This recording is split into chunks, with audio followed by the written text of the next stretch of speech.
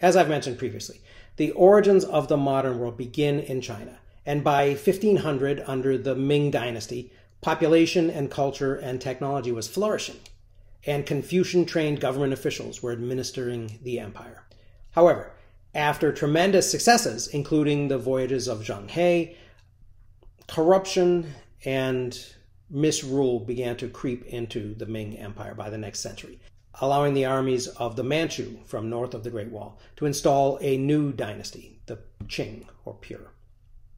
The new Qing emperors reinvigorated the Confucian ruling class, and China once again enjoyed a degree of social stability and economic prosperity and international trade.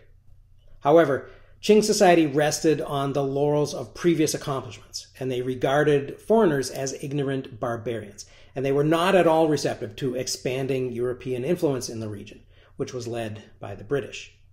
By the mid 1700s, the British East India Company dominated trade and the administration of India. British ships carried Indian cloth and other products to the rest of the world. The tea dumped in Boston Harbor in 1773 came from India. The East India Company was very interested in opening up Chinese markets to trade. But China was self sufficient and was not at all interested in anything that Britain had to offer. Chinese teas and jade and silks and porcelain were in high demand in the West, but the only payment that China was willing to take was silver. For centuries, the silver of the New World had been making its way into the Chinese economy, where it became the money supply of the world's largest economy. The East India Company's supply of silver was very limited. Luckily, India provided the company with an alternative opium from poppies harvested in India and Burma. Although the Qing had outlawed opium imports in 1729, the East India Company controlled a virtually unlimited supply. At the beginning of the 19th century, an annual average of about 4,500 trunks of opium were reaching smugglers on the South China coast. The company focused on importing opium into China, where addicts were willing to pay in silver. By 1839, over 40,000 133 pound chests of opium were being bought by Chinese drug dealers. More than 1% of China's 400 million people became addicted, many of them rich bureaucrats.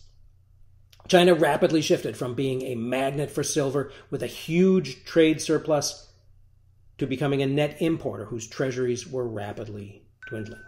Some Chinese officials wanted to legalize opium so that the empire could tax it. But the Confucians, who were moralists, won the policy debate.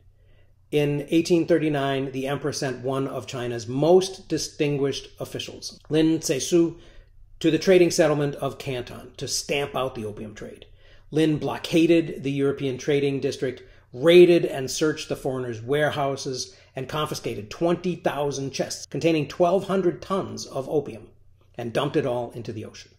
The East India Company complained about its losses in London, and Queen Victoria sent a fleet, including four steam powered battleships. Lightly armored Chinese war junks, which were designed to fight river pirates, were severely outgunned. The limited range of Qing cannon compared to British artillery allowed the invaders to pummel the Chinese defenses from a safe distance.